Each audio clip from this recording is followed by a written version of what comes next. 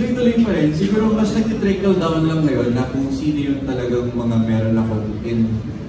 I mean, kahit friends ko naman talaga siguro most of them.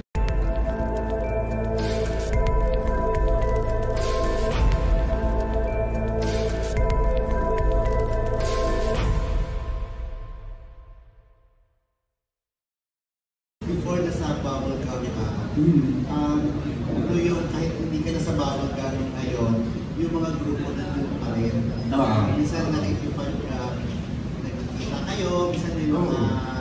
may mga bonding kayo na nakakabuo kayo ng project. Minsan na-mention sa akin yung Paulo Contis na makakasama ka rin doon, iyak. So, tuloy-tuloy pa rin yun. Tuloy-tuloy pa rin. Siguro mas nag-trickle down lang ngayon na kung sino yung talagang mga meron ako in...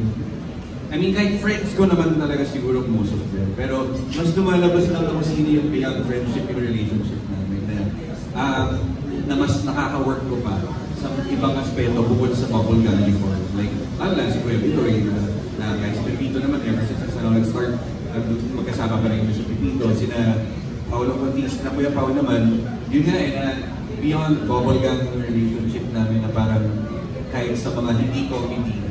Basta alam namin, parang alam kong, oy, acting piece to Kuya Pao, parang kailangan mo panoorin dito. may may ganun kami support sa isa't isa.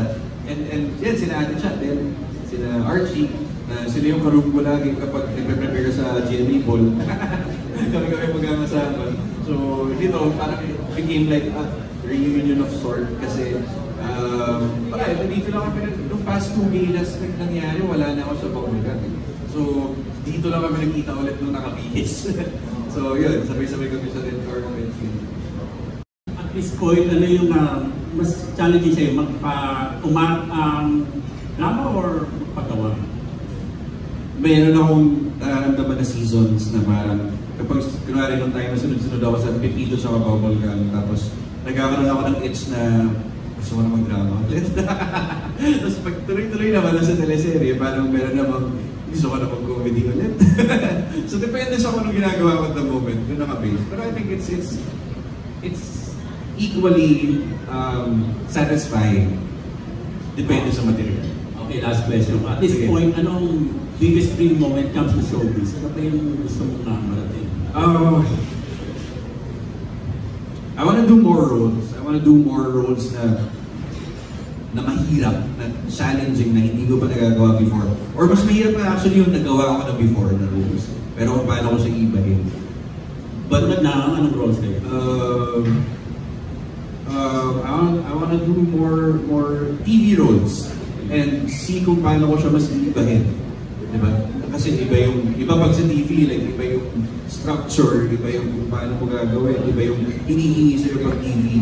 The same, in a different way na iba yung hinihingi sa'yo pag nasa pelikula. So, gusto ko pang laruin kung paano mo mapagbabalik-baliktad yun. Na paano kung ganito gawin mo sa TV, pero paano kung ganito gawin mo sa pelikula. So, more roles like that.